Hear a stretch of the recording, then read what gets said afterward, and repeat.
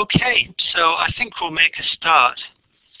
Um, so this tutorial, uh, so this is going to be in two parts, so I'll do, this, do the second part at the same time next week. But what I hope to do is give you uh, an introduction to computer architecture. And this is, this is really intended for people who are uh, doing or thinking about doing optimization work on, on codes. Uh, and hopefully what I'm trying to do here is give you an understanding of the, the underlying architecture of machines that you're likely to be working on um, so that some of the optimization, hopefully some of the optimization techniques will, will make more sense and uh, you'll understand what's going on in, in, in the hardware. Okay, so So if we think about HPC systems, then there are, there are really sort of four main principal technologies which go into, into building an HPC system. And we've got uh, processors to do the calculation. We've got memory for temporary storage of data. We've got the interconnect so that processors can talk to each other uh, and also to the outside world. And then we have some, some secondary storage, so disks for storing input and output data, uh, and maybe tapes for long-term archiving of data. But these talks are really going to focus on the first two of these, and really thinking about what's inside a single node, which is processors and memory. So I should just say, uh, please feel free to type questions into the chat box as we go along but I'll also give a, uh, we'll also have a, a question answer session at, at the end of uh, end of the talk.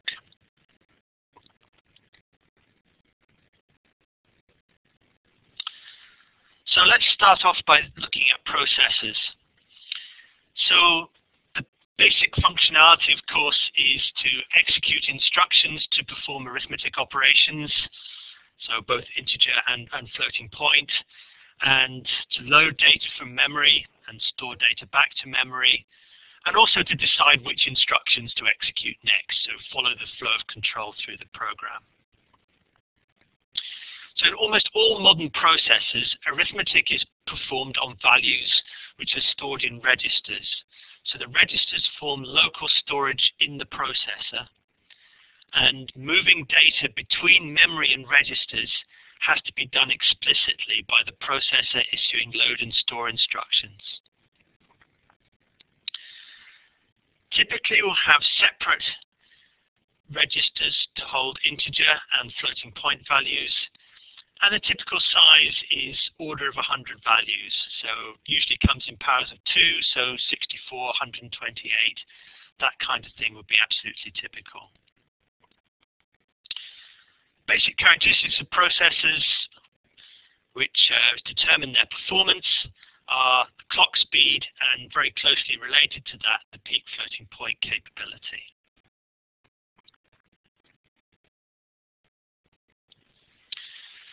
So the clock speed determines the rate at which instructions are executed in the processor. So modern chips are around about the 2 to 3 gigahertz uh, mark in terms of in terms of clock rate. But there's also, as we'll talk more in detail as we go along, uh, there's there's also a lot of parallelism going along here. So, for example, integer and floating point calculations can typically be done in parallel, and we may also have multiple issues. So, for example, uh, many processors encode a, a floating point add and multiplication in, in a single instruction. So the peak floating point rate is just the clock rate multiplied by the number of floating operations we can do per clock cycle. Now alongside that, there are a whole series of hardware innovations to try and make that go fast and to try and get squeeze maximum performance out of the processor.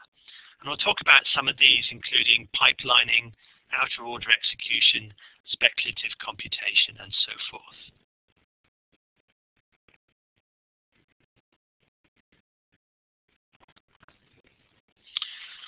So let's just think about history for a while. So I'm sure you've all heard about Moore's law, which roughly speaking says that CPU power doubles every 18 months. And strictly speaking, that really just applies to transistor density. But in many ways, that also translates into, into processor performance. And remarkably, that's held true for about the last 40 years. Of course, it's maybe now self-fulfilling in the sense that if a processor manufacturer cannot keep up with Moore's law, then it tends to go out of business. Uh, and that's happened quite a lot in the sense that there are now very few companies actually manufacturing processors.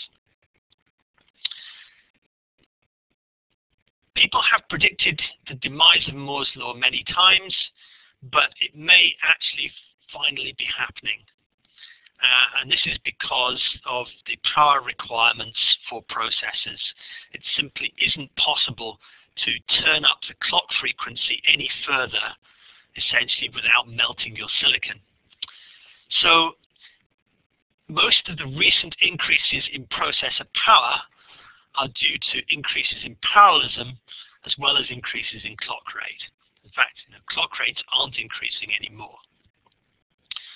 So there are several different layers of parallelism going on in a processor. There's some very fine-grained parallelism, which is essentially pipelining, and I'll talk about all these in some more detail as we go along. There's some medium-grained parallelism, which has to do with superscalar execution, SIMD, hardware multi-threading, which essentially is to do with issuing multiple instructions in the same clock cycle. And then there's also some coarse-grained parallelism,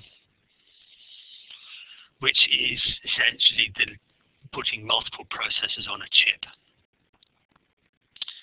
So as far as the technology we've got in, is concerned nowadays, the first two of those sources of parallelism, so the fine grain and the medium grain, seem to be pretty much exhausted. It seems to be hard for the manufacturers to squeeze any more performance out of those and therefore the main trend nowadays is towards multi-core. So that's essentially the last thing to do to try and get more performance out of your piece of silicon is just to put more cores on it.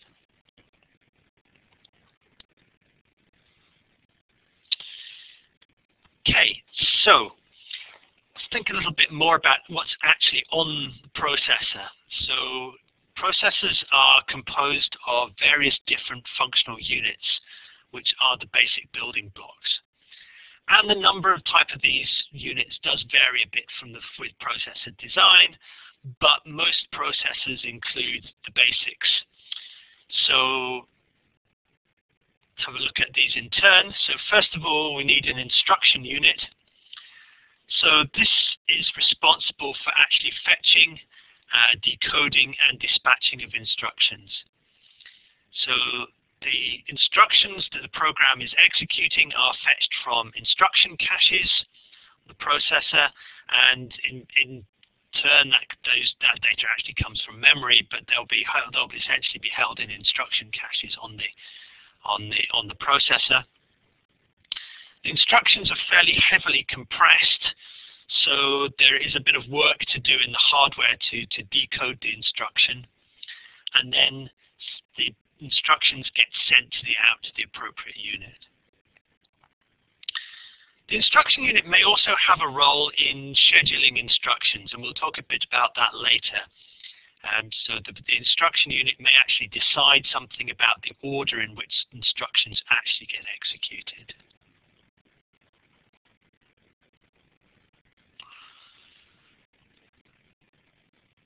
So next we need some units to do some arithmetic. So we'll have an integer unit for integer arithmetic. So this will do integer addition, multiplication, and division. Uh, also logical operations like AND, OR, bit shifts, and so on. Um, some older terminology here which you might might come across is uh, integer units are also known as ALUs, which stands for arithmetic and logic unit. And then we have the floating point unit, which handles the floating point arithmetic. So typically addition, multiplication, and division. Uh, maybe square root as well. And this is usually the critical resource for high performance computing. So most scientific codes do more floating point arithmetic than integer arithmetic. So this tends to be the critical resource and indeed machines are advertised and sold and marketed by their peak floating point rate uh, rather than by anything else. So that of course can be very misleading because in fact the critical resource is not the processor at all, it's, uh, it's how fast we can feed the processor with data from memory.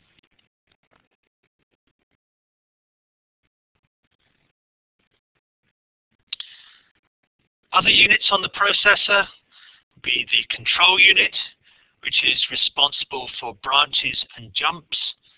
So whenever we get a branch, a program which may come from an if statement or may come from the end of a loop, for example, or a jump which may come from a function or subroutine call, then there's a unit in the processor which essentially decides uh, which instruction is going to be needed next. So it's responsible for changing the control flow in the code. Then we need to be able to get data to and from memory. So we will have a load store unit, which is responsible for loading the data from memory and storing it back. And there must be somewhere to hold that data on the processor. And as we mentioned before, that's the register file. It's local storage in the CPU. Uh, and it's accessed by name, not address. Now, what does that mean? It means that, that the, the register file is not part of the memory system.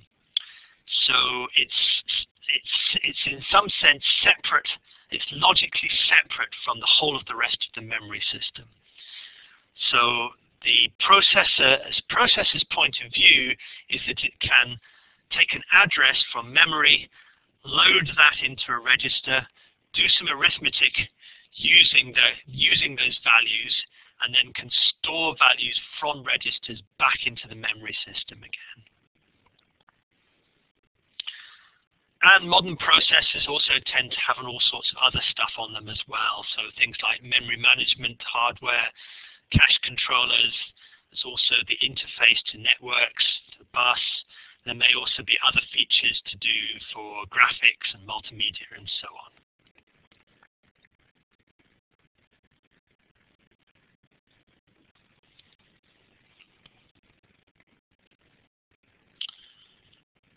So let's now start looking at some of the different sorts of parallelism which are in play on modern processors. So the lowest one, lowest level of parallelism that's going on is called pipelining. Uh, and this is absolutely key implementation technique for making processes fast. So what actually happens is that an, an instruction is are broken down into stages so that each stage can be executed in one CPU clock cycle. And all parts of the CPU operate at a fixed frequency, which is the clock rate. So instead of being able to do a floating point operation in one clock cycle, what actually happens is that that floating point operation is broken down into a number of different stages and each of those stages executes in one clock cycle. So it actually takes several clock cycles to execute the whole floating point instruction. But the key idea here is that once a stage is completed for one instruction, can be executed for the next instruction on the subsequent clock cycle. So what this means is that it allows one instruction to be completed on every clock cycle even though the instruction itself may take many cycles to complete. So for example, on Archer, where we have Intel Ivy Bridge processors, those processors actually have a 14-stage pipeline. So the longest an instruction can take to start to finish is 14 clock cycles. But nevertheless, because we're executing different stages for different instructions at the same time, we can always deliver at least one instruction per clock cycle. However, There are some special instructions which are not pipelined, cannot be handled like this. And for scientific programs, the interesting ones are floating point square root and floating point divide. So on most processors, those are not pipelinable instructions. And they take quite a large number of cycles. So they may take 20, 30 or 40 clock cycles to execute a floating point square root. And there can only be one of them going on at a time. So if we have uh, lots of square roots to do, then we only get one square root result every, say, 30 clock cycles.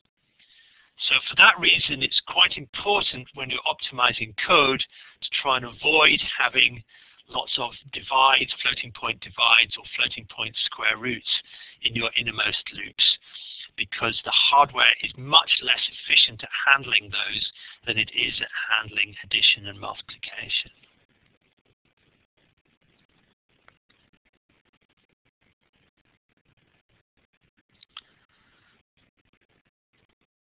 So pipelining is great. It's a powerful technique to get performance out of the processor.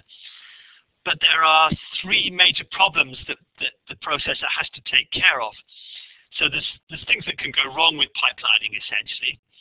So there can be structural hazards, which means that two instructions both require the same piece of hardware at the same time, i.e. on the same clock cycle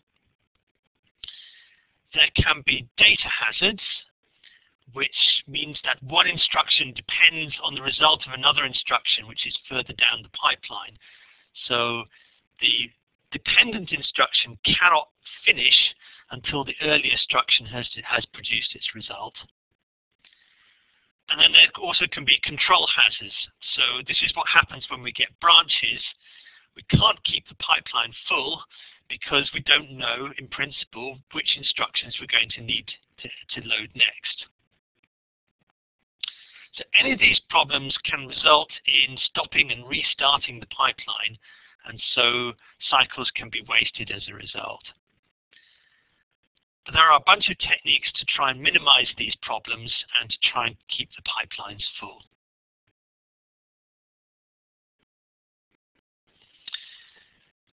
So two of the most important of these techniques are out-of-order execution and branch prediction. So out-of-order execution, uh, essentially, this is this may become maybe a bit of a surprise, but processors don't actually necessarily execute your code in the order in which in which order in which instructions appear in the assembly code.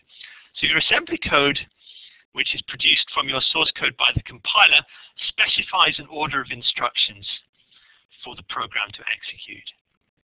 But in fact, the hardware can choose to reorder those instructions as they're fetched to try and avoid particularly structural and data hazards. Now, as you can imagine, this requires some complicated bookkeeping to ensure correctness. So any reordering that the hardware does must preserve the meaning of the program correctly. So it must be invisible to you as a programmer that this reordering is actually happening. So that's one thing that's that's going on to try and try and, to try and keep the pipelines full is reordering on, on in the hardware on the fly of instructions to try and get the best execution order. The other thing that's done is branch prediction. So essentially what the hardware is trying to do here is trying to guess which way the next branch will go. So whenever you have a, a branch, for example, in an if statement or at the end of the loop, the hardware uses a table that tracks the outcomes of recent branches in the code and uses that history to try and predict which way the next branch in the program is going to go. Uh, and in this case, we can, if it guesses correctly, it keeps the pipeline going, it fetches the, in, the next set of instructions from the right branch uh, and keeps the pipeline full. And only if the prediction is wrong will the pipeline have to stall and wait and get the result of the branch before it can ex execute the next instructions.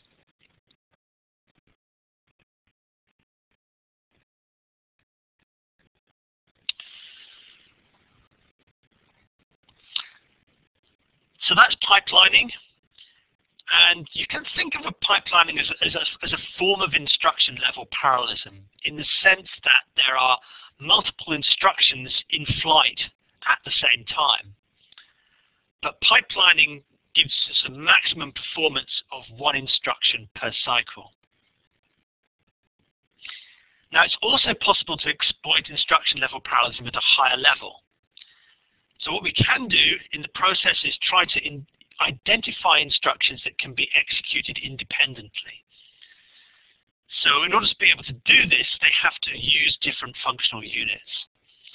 And there's two approaches to this, and many modern processors use both of them at the same time. So these are superscalar processors and SIMD or vector instructions. So the idea of superscalar processes is that the parallel instructions are identified at runtime in the hardware.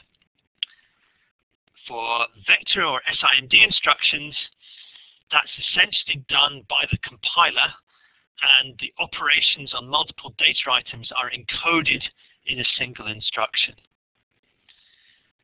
So let's look a little bit more detail at these, these two processes.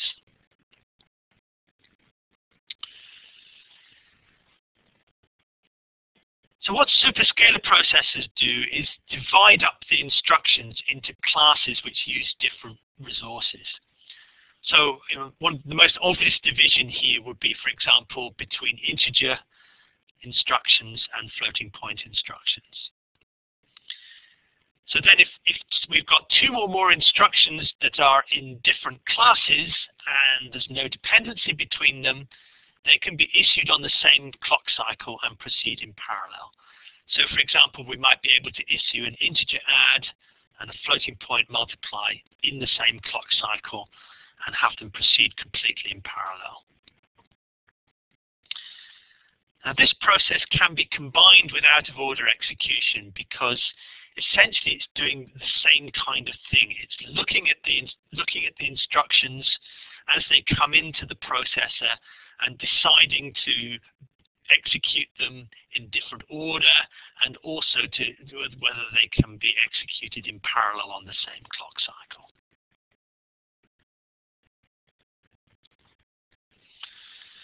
So the detection of independence is done in hardware.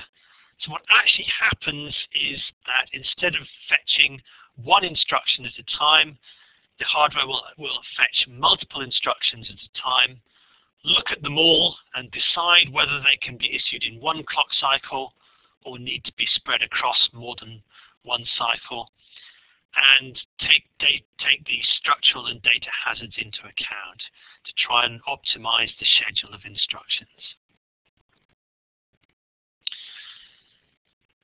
So most of the responsibility here is with the hardware.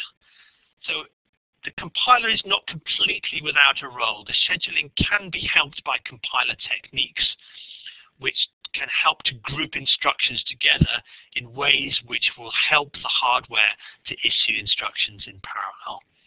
So although most of the work here is being done at runtime on the fly in the hardware, it's still possible for the compiler and potentially the programmer as well to try and help out by grouping together instructions in, in ways which, which can be executed in parallel.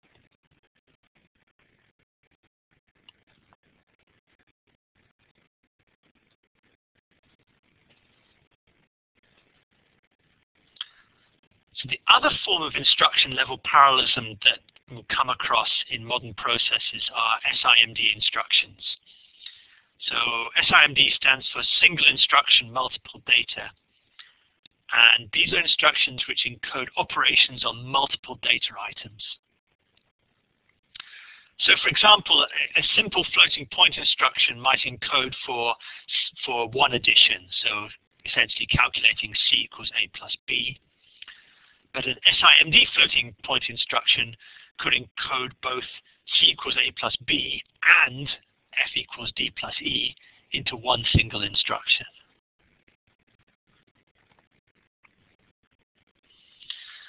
So most modern processors include support for such instructions. So these are called uh, SSE and AVX is the more modern version in x86 processors, also Altivec in power processors. So in order to be able to support this, we require a typically quite substantial extension to the instruction set. So there has to be an, an, a big list of extra instructions that the processor is able to execute to be able to support this. So we need vector versions of loads and stores and vector versions of compares, for example, as well as vector versions of integer and floating point arithmetic instructions. So we need some extra hardware to be able to exploit this. So we need multiple arithmetic units uh, and typically also some extra storage, some extra, extra registers on the processor to take advantage of them. So for a given processor, the SIMD width is the number of operations encoded in a SIMD instruction. So typically this will be a small number, so 2, 4, uh, maybe as much as 8 is about as large as you will see in, in modern processors.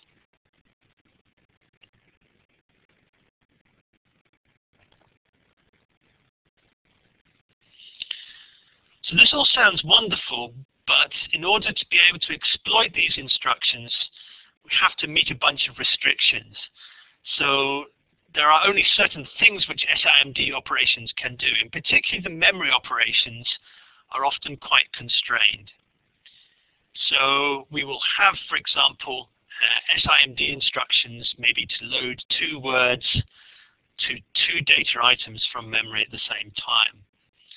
However, that instruction may require things like the values are actually consecutive in memory, so they actually lie in neighboring addresses so they may have to be neighboring elements in an array, for example. And also that they're aligned on the right boundary. So if we've got an instruction which loads two 8-byte double precision values, then they may have to be correctly aligned on 16-byte boundaries for that to work okay.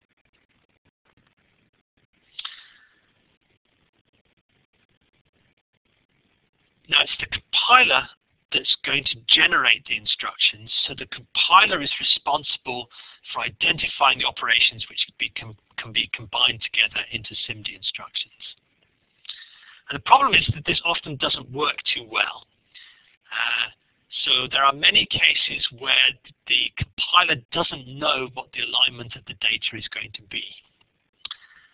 And that can cause it to fail to, to generate vector instructions the compiler can get around this to some extent by generating multiple versions of the code and picking the right one depending on the alignment that actually gets encountered at runtime. Um, but that rapidly explodes into uh, into many many versions of code if, uh, if if things don't work out well. So sometimes compilers do a reasonable job of generating vector instructions. Sometimes they don't. And people do, you know, particularly people writing numerical libraries and so forth, will often resort to hand coding vector instructions in, in, in some form of assembly code.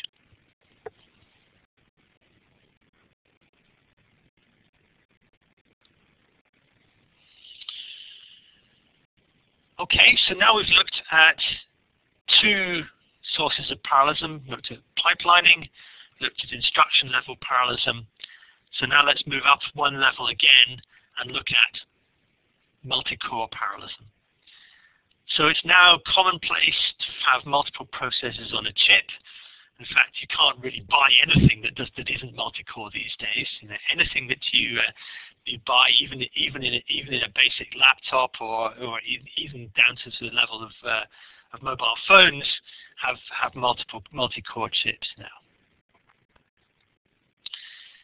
So the main difference between having multi-core on a chip and, and, just having one core per chip is that processors may share caches. Um, but we'll come and talk about, we'll talk caches uh, a lot later on. It's also possible in some designs that the, the multiple cores may share other resources. In particular, there have been some processor designs in the past where processors are designed so that multiple cores share floating point units, which can cause some complications for optimization.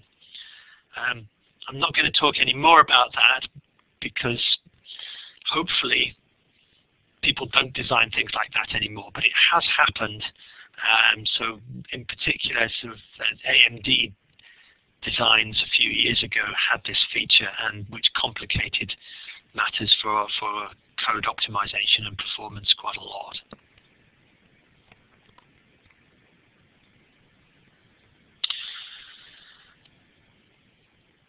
So typically what a modern processor looks like is something like this. So on a single chip we will have multiple cores. So those are the CPUs at the top here. Each core will have its own level 1 and level 2 cache memory. Then multiple cores will share a level 3 cache and then there's a connection from there to, to main memory. But as I said, we'll we'll talk uh, later on, or um, and also next week about uh, cache memory and and how that works.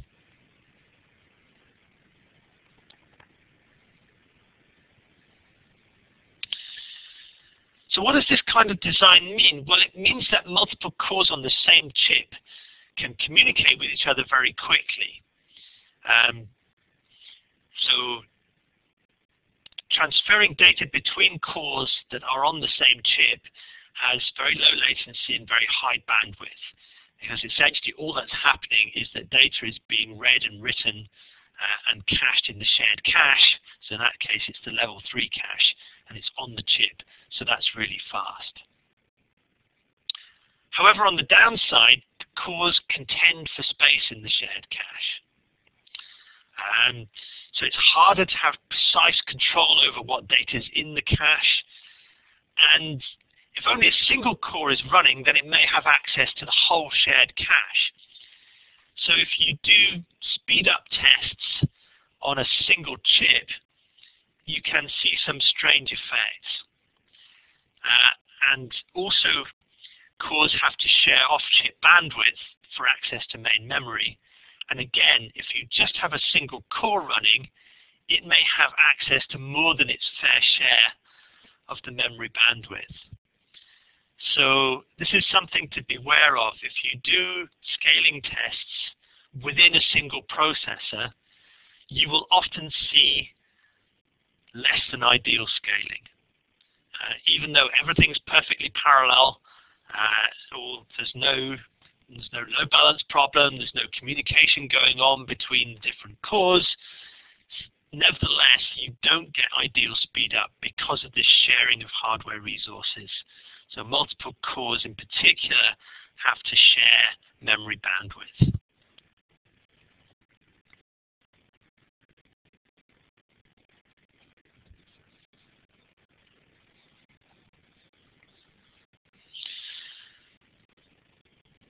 So yet another possibility for squeezing performance out of processors is to do with having multiple hardware threads per core. Now, how is this possible? What what what what use can we can we put this to? Well, as I said, most modern processors are are superscalar, so they can issue several instructions in every clock cycle and the selection and scheduling of instructions is done on the fly in the hardware. So a typical processor is able to issue maybe four or five instructions per clock cycle. That's normal sort of number, uh, with those instructions going to different functional units. So obviously, the, the, in order for that to work, there can't be any dependencies between those the instructions issued on the same clock cycle. Now that would all be fantastic, but actually typical applications don't have that much parallelism in them. So the amount of parallelism you actually find in programs isn't four or five times, it's only maybe one and a half or two. So if you look at a typical program, you, on average, you can only find maybe up to two instructions per clock cycle that it can actually go in parallel. So what that means is that when you're running a real programs, often more than half the available instruction slots are actually empty because there's nothing that the hardware can find to schedule in there because of the dependencies between instructions. So one possible solution to this is what's called simultaneous multi-threading, or SMT. You may also hear it called hyperthreading, which is actually Intel's proprietary name for it. Um, but that's, that's, that's often used instead. So what that's trying to do is to try and fill up those spare instruction lot and slots by mixing instructions from more than one thread on the same clock cycle. In order to be able to do that, there has to be some replication of the hardware. Um, so there has to be a certain amount of hardware replicated per thread, but actually it's not very much.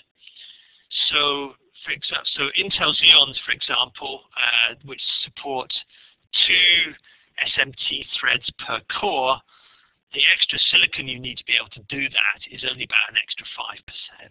So it's a relatively low overhead in the hardware.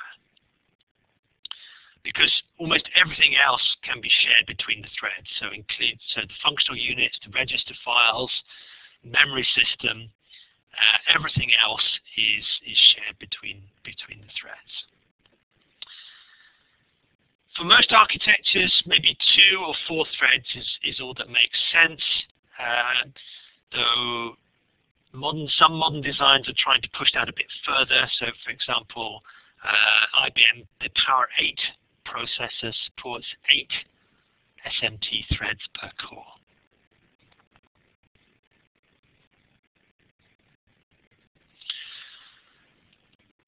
So here's a little diagram which is intended to try and show what, what's going on here.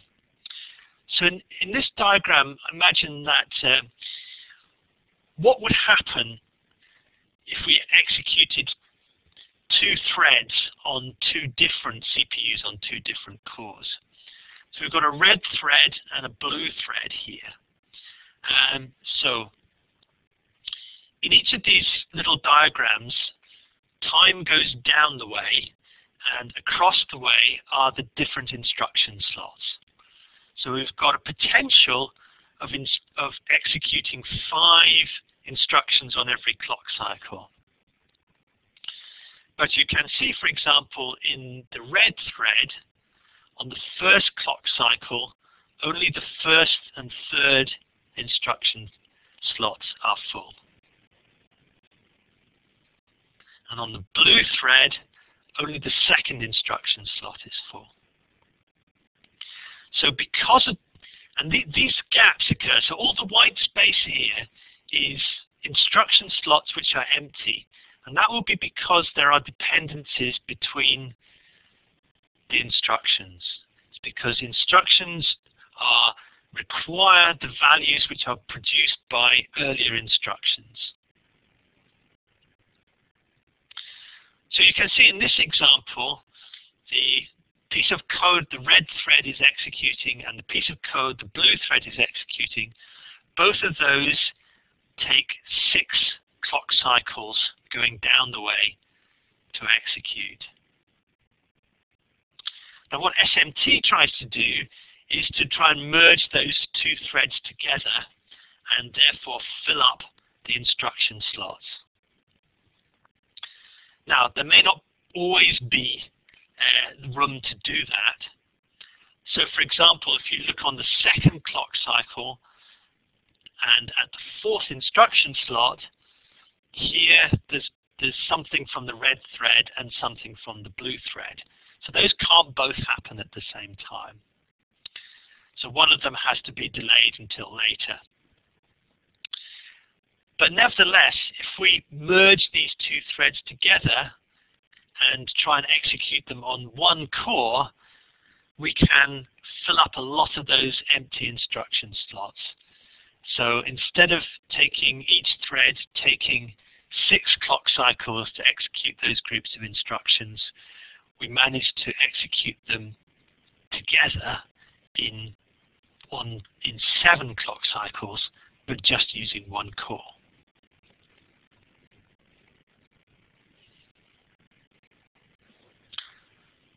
So is this any good? How successful is this? Well, in practice, it's very much dependent on the application and to what extent the, the threads contend for the shared resources. So in practice, the gains seem to be limited to around maybe 20 or 30% for two cores over a single thread, for example.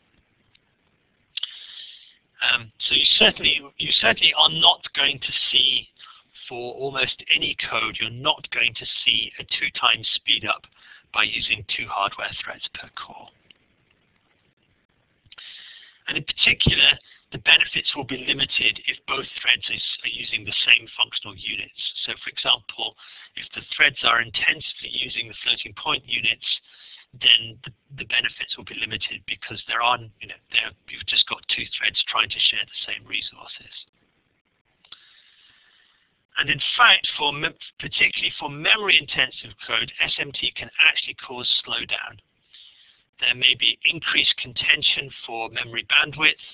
There can be increased contention for space in the caches. And also you've got to get that extra parallelism from somewhere. You've got to find extra threads from your program. So increasing the number of threads and processes can increase overheads such as communication or load imbalance. And that can typically outweigh the benefits of, of using the multiple hardware threads. So it's very much one of these um, try it and see kind of things. You know, it might help your application, it might not. Um, you, you, all, all you can really do is try it. It's very hard to predict a priori what's going to happen.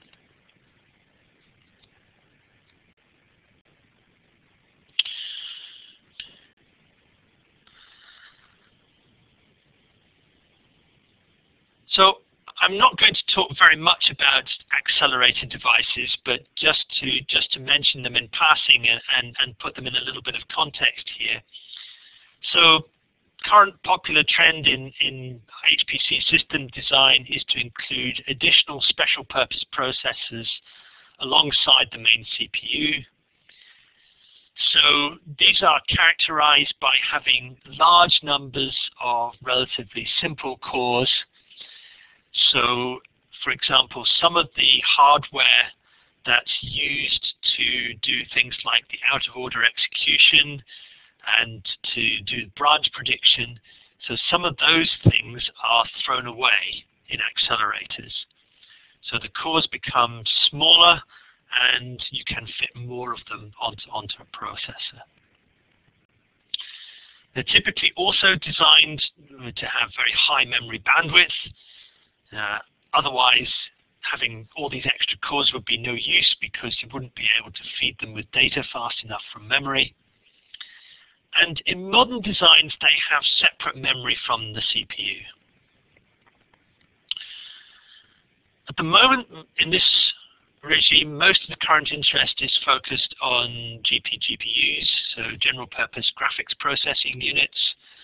Um, partly this is a case of uh, economics. Uh, so these things are relatively cheap um, because GPUs are produced in, in high volumes for the mass market. Um, however, they're quite tricky to program and they suffer from significant overheads in moving data to and from the GPU memory. So although the GPU itself is very fast, if you need to move a lot of data uh, and often between the CPU and the GPU, then that can result in poor performance. So another processor design, which is which you could also think of an accelerator, is the Xeon Phis. So these are more like conventional CPUs than than GPUs, but they have a lot of low power cores. So um, current generation of Xeon Phis have about 60 cores in them. They also use SMT and wide SIMD units, so wide vector units, uh, to bump up the floating point performance.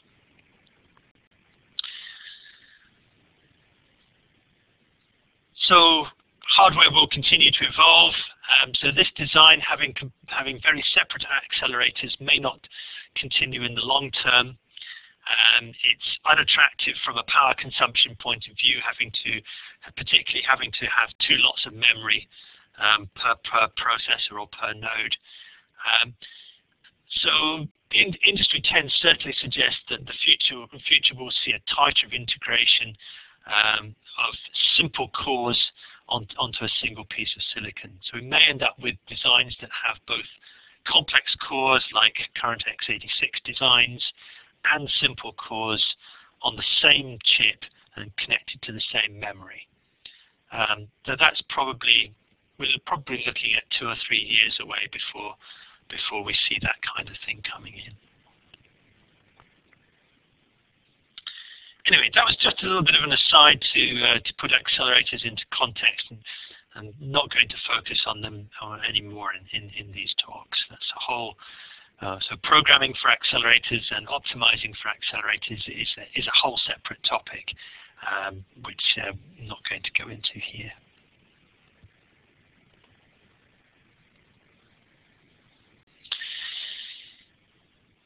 So I now want to move on from processors and, and, and start thinking about the memory. So I've already started to discuss this a little bit. Um, but memory is absolutely key uh, to performance on most HPC systems and for most scientific codes.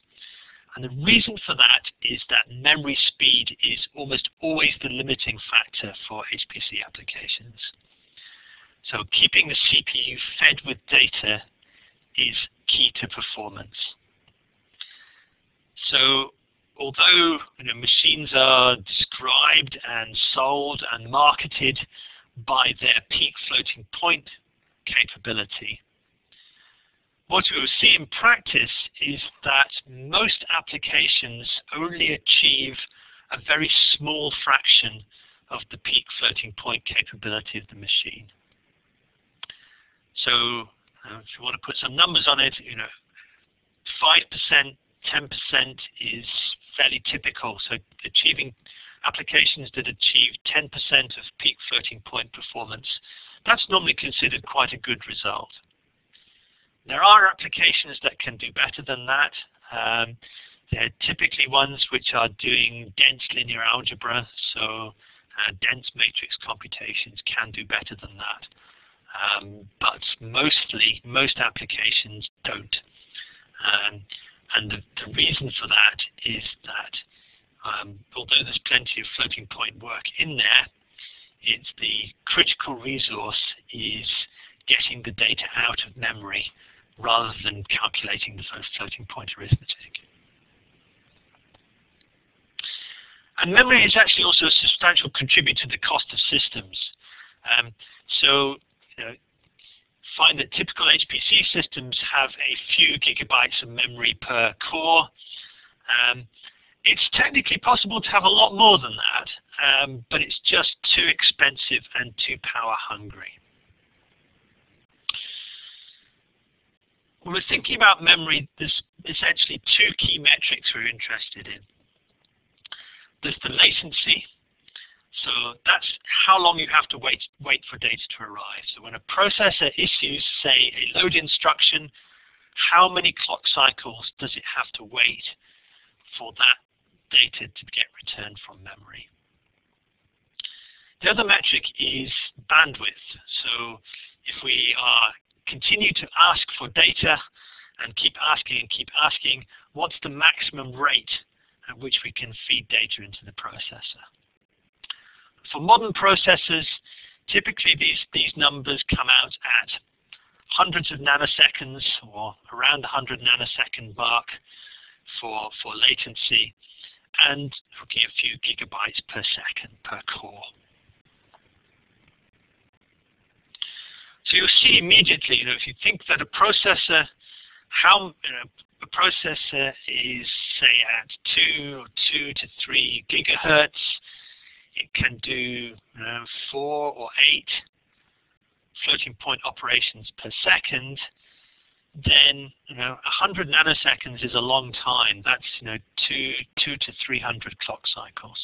So you can do an awful lot of floating point arithmetic in the time that it takes to get one piece of data out of memory.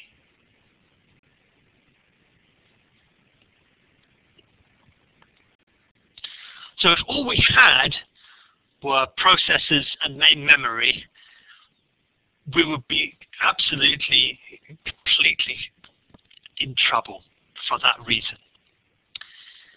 Um, so memory latencies are very long, uh, typically hundreds of processor clock cycles. So as I've said, fetching data from main memory is essentially two orders of magnitude slower than doing arithmetic. So we've got to do something to try and to try and, and overcome that problem. And the solution is to, to have cache memory. So this is memory which is much faster than main memory, but also much smaller than main memory. And it's used to keep copies of recently used data in hope that the program is going to access that data again. So subsequent accesses are fast, are much faster than getting it from, from main memory. So we've already seen modern systems typically use a hierarchy, two or typically, more typically nowadays, three levels of, of cache. And they're typically all on, on, the, on the silicon, on the, on the chip.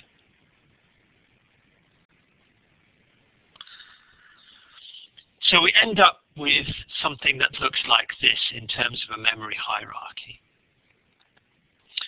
So at the top here we have the CPU registers. Then going downwards we have the various levels of cache, level 1 cache, level 2 cache, level 3 cache. And at the bottom we have main memory. So as we go down the hierarchy, the speed at which, or the latency at which we can get data uh, goes up. Okay, so for to get data from from CPU registers, we can do that in one clock cycle. To get it from level one cache is maybe two or three cycles. Level two, we're up to about 20 cycles. Level three, maybe 50, and main memory maybe a couple of hundred. But also as we go down the hierarchy, the capacity increases. So the amount of data that the CPU can store in its registers is order of one kilobyte. Level one cache, maybe order of 100 kilobytes. Level two, a few megabytes.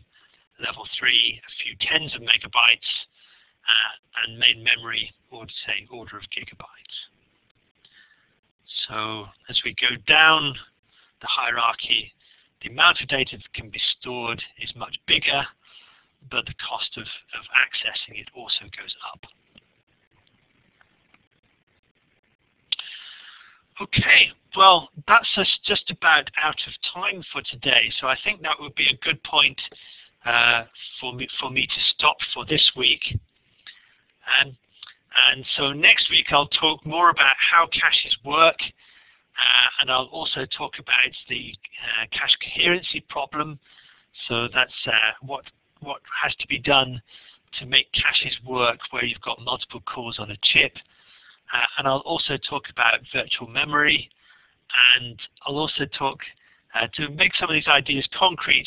I'll also discuss the actual processor the design uh, that's used on Archer.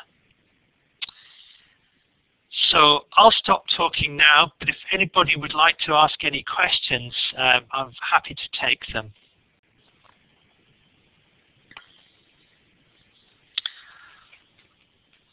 Okay, so question about about speculative computation is is that related is that related to to branch prediction?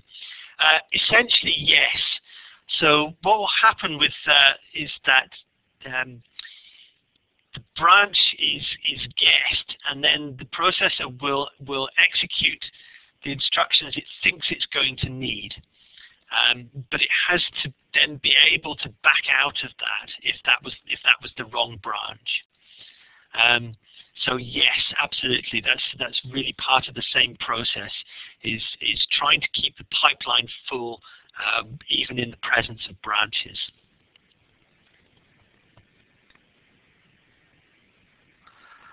Okay, well, thank you very much for. Oh, one more question.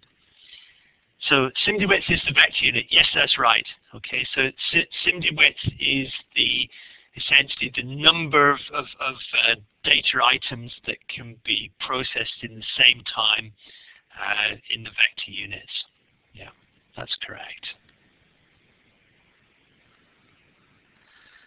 So how can you get how can you get that information? So um, I guess how do, how do you know what it is for a particular processor? Um, it's you really just have to go and find the documentation for the for the processor. It's um, it, but you can also say what is you know look at what in, instruction set the processor supports. So it's hard coded into the instruction set.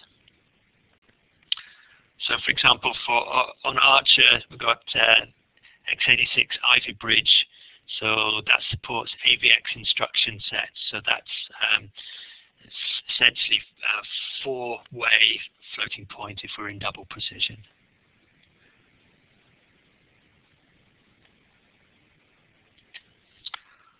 Okay, great. So if there aren't any more questions, uh, thank you very much for listening and uh, hope you can make it for part two next week.